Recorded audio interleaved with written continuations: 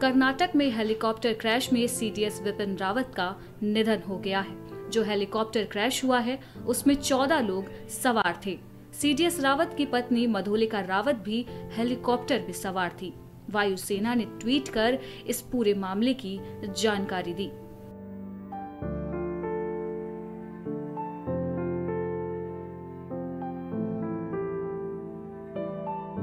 वही बात करें विपिन रावत के जीवन के बारे में तो विपिन रावत थल सेना के 27वें प्रमुख रहे, जिसके बाद विपिन रावत को देश का पहला सीडीएस अधिकारी यानी चीफ ऑफ़ डिफेंस स्टाफ बनाया गया।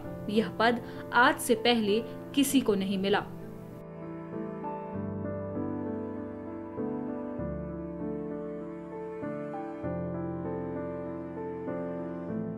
सीडीएस का काम है थल सेना वायुसेना और नौसेना तीनों के बीच तालमेल बैठाना। सीधे शब्दों में कहे तो यह रक्षा मंत्री के प्रमुख सलाहकारों में शामिल हैं और तीनों सेनाओं को निर्देश देते थे, जहाँ इनका काम किसी भी सैन्य एक्टिविटी में दखल देना नहीं रहा। यह सिर्फ़ तीनों सेनाओं के बीच तालमेल बैठाने का काम कर रहे थे।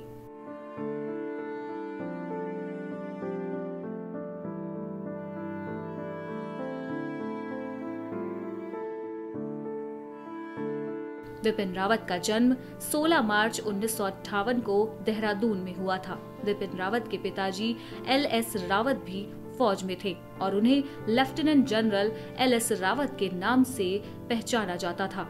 इनका बचपन फौजियों के बीच ही बीता और इनकी शुरुआती पढ़ाई सेंट एडवर्ड स्कूल शिमला में हुई।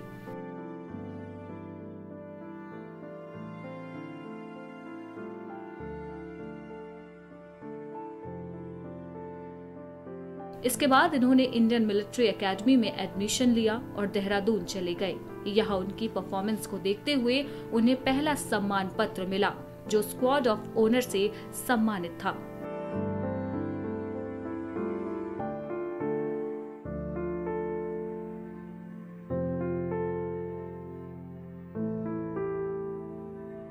उसके बाद उन्होंने अमेरिका में पढ़ाई करने का मन बनाया और वो अमेरिका चले गए। यहाँ उन्होंने सर्विस स्टाफ कॉलेज में ग्रेजुएट किया। साथ में उन्होंने हाई कमांड कोर्स भी किया। विपिन रावत अमेरिका से लौट आए और उसके बाद उन्होंने आर्मी में शामिल होने का मन बनाया।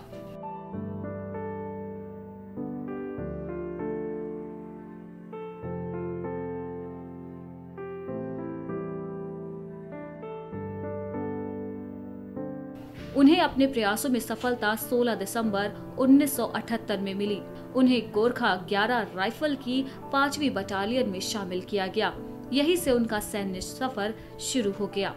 यहाँ विपिन रावत जी को सेना के अनेक नियमों को सीखने का मौका मिला। और उन्होंने कैसे एक टीम वर्क करना चाहिए, उसे भी अच्छे से समझा।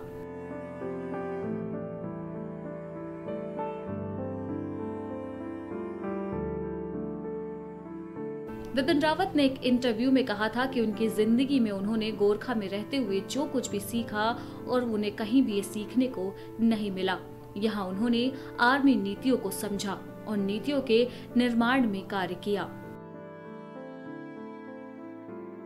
विपिन रावत ने भारत ही नहीं, अंतर्राष्ट्रीय स्तर पर भी अपनी सेवाएँ दी हैं। वे कार्गो के यूएन मिशन में भागीदार थे और उस वक्त उन्हें अंतर्राष्ट्रीय स्तर पर सेवाएँ देने का मौका मिला था।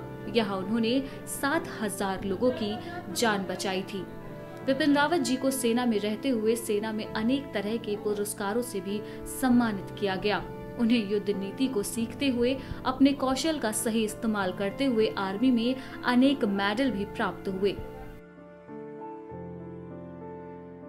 विपिन रावत जी को सेना का प्रमुख बनाया गया। उन्हें 31 दिसंबर 2016 को दलबीर सिंह सुहाग का उत्तराधिकारी बनाया गया। यह पद विपिन रावत के जीवन का अहम पद रहा। इस पद पर आने के बाद उन्हें पूरे भारत में एक खास पहचान मिली और वे भारतीय सेना के 27वें प्रमुख बने। उन्होंने इस पद की कमान 1 जनवरी 2017 को संभाली थी। विपिन रावत ने 31 दिसंबर 2019 को भारतीय सेना के प्रमुख पद से इस्तीफा दिया और उन्होंने देश के पहले सीडीएस अधिकारी की कमान संभाली। यह पहले वो इंसान रहे जिसे भारतीय सीडीएस अधिकारी बनाया गया। सीडीएस यानी चीफ ऑफ़ डिफेंस स्टाफ अधिकारी। इसके अलावा विपिन रावत को एक अच्छा लेखक भी कहा जाता है। उनके अनेक लेख पत्रिकाओं में पब्लिश होते आए हैं।